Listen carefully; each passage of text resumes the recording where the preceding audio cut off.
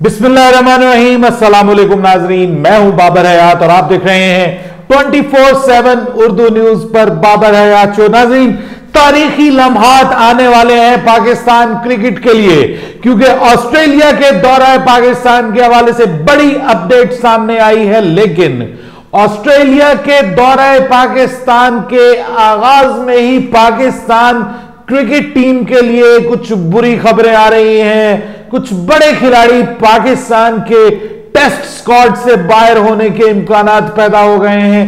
Pakistan cricket team अपनी जो fitness है, उसके मसाइल को लेकर के खासी परेशान हो रही है। कौन कौन से खिलाड़ी ऐसे हैं कि जो पाकिस्तान के स्क्वाड से बाहर होने जा रहे हैं? कुछ ऐसी खबरें आ रही हैं, परेशान कुन खबरें आ रही हैं, उनके ऊपर बात करेंगे। बात करेंगे कि ऑस्ट्रेलवी टीम पाकिस्तान के लिए रवाना हो चुकी है। कब पहुंचेगी ये टीम पाकिस्तान में और उसके बाद फिर क्या होने जा रहा है? और फिर बात करेंगे कि जैसे ही पाकिस्तान क्रिकेट बोर्ड ने रावलपिंडी टेस्ट के लिए जो है वो टिकटों का ऐलान किया, उसके साथ ही रावलपिंडी इस्लामाबाद की आवाम टिकटों पर टूट पड़ी है और अनबिलीवेबल किस्म की जो है, वो रिपोर्ट्स आ रही हैं रावलपिंडी टेस्ट के हवाले से। और फिर बात करेंगे कि राशिद खान, जिनके हवाले से सुबह से खबरें आ रही थी कि वो लाहौर कलंदर्स को ज्वाइन कर सकते हैं। अब उन्होंने इस हवाले से खुद बयान दिया दिया है। क्या कहा है राशिद खान ने? इस पर भी बात करेंगे। लेकिन आगे बढ़ने से पहले आपसे गुजारिश कि अगर आप हमारे नए व्यूअर हैं तो प्लीज़ हमारे इस चैनल को जल्दी से कर दीजिएगा सब्सक्राइब और बेल आइकन को पुश करना मत भूलिएगा। मुझे फॉलो कीजिए इंस्टाग्राम पे एट बाबर हयात शो और हमारे पेज को लाइक कीजिए फेसबुक पे एट बाबर हयात शो तो जनाब, सबसे पहले तो बता दूँ आपको राशिद खान के हवाले से कि राशिद खान के बारे में आज सुबह से यह खबर पूरे मेन स्ट्रीम मीडिया के ऊपर गर्दिश कर रही थी और इवन जियो न्यूज़ ने भी इस खबर को ब्रेक किया था कि राशिद खान लाहौर कलंदर्स के लिए फाइनल मैच में दस्तयाब होने जा रहे हैं और वो इस मैच के लिए अवेलेबल होने जा रहे हैं। इस हवाले से मैंने भी अपने सोर्सेज से कंफर्म किया तो खबरें यही आ रही थी और इस पर मैंने इससे पहले एक वीडियो भी की। लेकिन उसके बाद खबर यह आई कि राशिद खान ने अब ट्वीट किया है इसके हवाले से और राशिद खान का यह कहना है कि वो बहुत चाहते थे कि वो पाकिस्तान सुपर लीग के फाइनल में लाहौर कलंदर्स की नुमाइंदगी करें, लेकिन वो ऐसा कर नहीं पाएँगे क्योंकि नेशनल ड्यूटी जो है वो ऑब्वियसली उनके लिए फ़र्स्ट प्रियोरिटी रखती है। लाहौर गलंदर्स के फैंस का दिल टूटा है यह खबर सुनकर के, लेकिन उसके बावजूद जो उनका पॉइंट ऑफ़ व्यू है राशिद खान का, वो बिल्कुल करेक्ट है और वो बिल्कुल हक बजाने में ये फैसला करने में बिकॉज़ जो आपकी कौमी टीम है, उसकी जो ड्यूटी है वो आपके लिए सबसे इंपॉर्टेंट है। सो ये खबर अब कंफर्म हो गई है कि राशिद खान जो है, वो पाकिस्तान सुपर लीग के फाइनल में दस्तियाब नहीं होंगे, लेकिन दूसरी जानब मुल्तान सुल्तान वाली खबर अभी भी कंफर्म है कि टिम डेविड जो है, वो मुल्तान सुल्तान को ज्वाइन कर सकते हैं। सो मुल्तान सुल्तान तो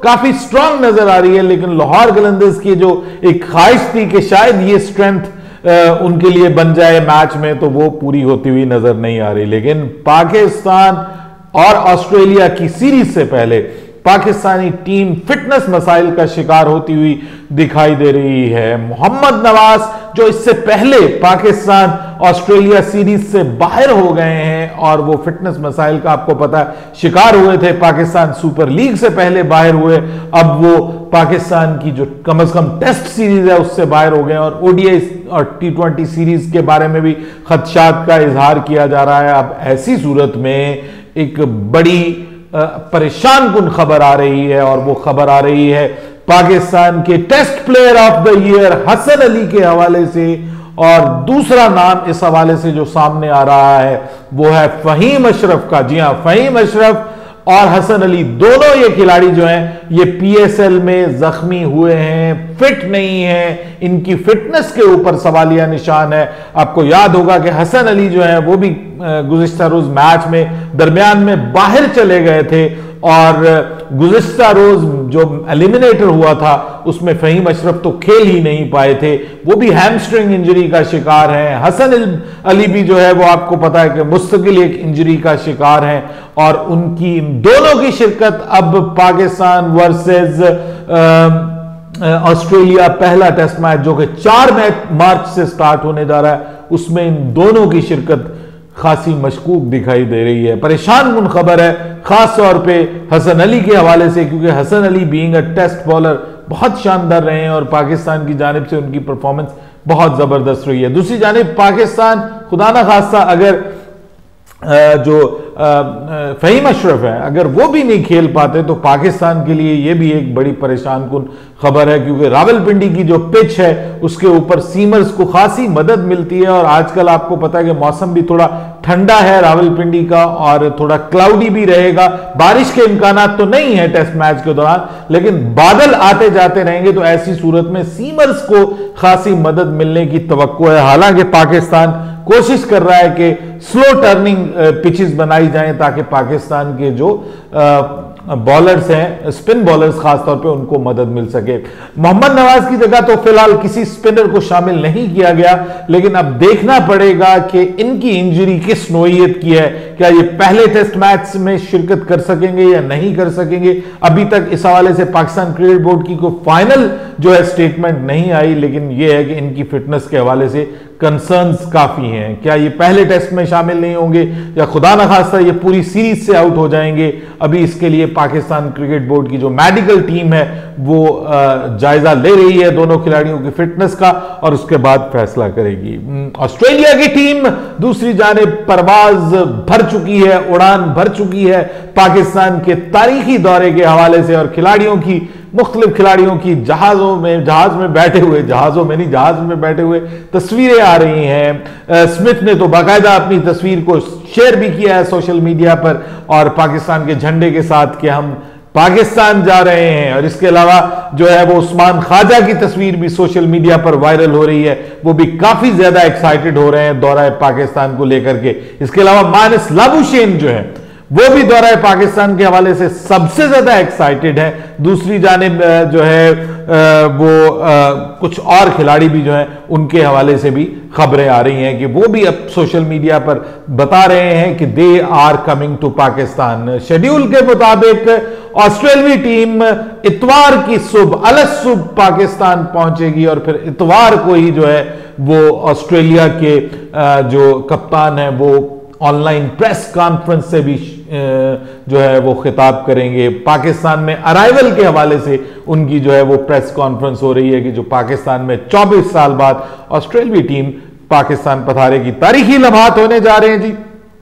पाकिस्तान की क्रिकेट के लिए बहुत इंपॉर्टेंट बहुत ज़बरदस्त। दूसरी जानी पाकिस्तान के क्रिकेट फैंस जो है, वो तो दीवाने हुए पड़े हैं और मैं अभी देख रहा था थोड़ी देर पहले कि जो tickets book me dot PK के ऊपर अवेलेबल थी खास तौर पे जो वीआईपी टिकट्स जो पाकिस्तान क्रिकेट बोर्ड ने अब सिर्फ़ पाँच सौ रुपए की कर दी है वीआईपी स्टैंड जो चार स्टैंड हैं वीआईपी स्टैंड हैं रावलपिंडी की, उनकी टिकट्स जो है वो अवेलेबल नहीं हो पा रही बुक मी डॉट पीके के ऊपर।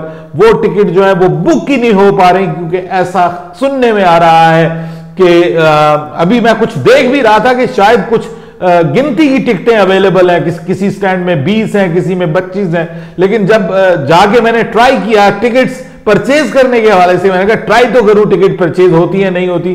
तो tickets were not available so ऐसा लग रहा है कि पाकिस्तान के क्रिकेट फैंस जो हैं वो उन्होंने धावा बोल दिया है पाकिस्तान वर्सेस ऑस्ट्रेलिया सीरीज़ की टिकट पे। और पहले तीन दिन जो हैं वो जितने भी वीआईपी स्टैंड्स हैं जी वो बुक होते हुए दिखाई दे रहे हैं। और आपको पता कि तीन तीन दिनों में काफ़ी हद तक कंफर्म हो जाता है मैच बाजू का तीन दिनों में फाइनल भी हो जाता है। तो इस वजह से चौथे दिन में और पाँचवें दिन में अभी टिकट्स अवेलेबल हैं। लेकिन पहले तीन दिन के लिए ऑलमोस्ट ऑलमोस्ट पैक्ड हो गया। लेकिन अच्छी खबर यह है कि अभी एम एन पी जो मुलर एंड फिप्स जो एक कोरियर सर्विस है एम एन पी के नाम से, उस पर अभी इन टिकटों की सेल स्टार्ट होनी है और वो होनी है मंडे के रोज। तो अभी भी अगर आपको ऑनलाइन टिकट्स नहीं मिल रही वहाँ पर बुक हो गई हैं तो अभी भी हम सबके लिए मौका है कि हम इस तारीखी टेस्ट मैच का किसी ना किसी तरह हिस्सा बने। हम तो बनेंगे इंशाल्लाह, आप भी बने और टिकट्स खरीदें और टिकट कटाओ, ते लैन बनाओ, ते जिन्हें जिन्हें जाना है। पीएसएल के बाद अब पाकिस्तान वर्सेस ऑस्ट्रेलिया सीरीज़ का जुनून सर चढ़कर बोलने लगा है माहौल। बनने लगा है, लेकिन दुआ है कि पाकिस्तान के ये खिलाड़ी जो हैं, ये फिट हो जाएँ ताकि एक फुल स्ट्रेंथ पाकिस्तानी टीम जो है, वो खेलती हुई नज़र आए। लेकिन ये भी हो सकता है कि इनके जाने के बाद अब आपको नसीम शाह और हारिस रऊफ पाकिस्तान की जानब से खेलते हुए दिखाई दें। अपनी राय दीजिएगा कमेंट सेक्शन में। बाबर हयात को इजाज़त दीजिएगा। अल्लाह हाफिज।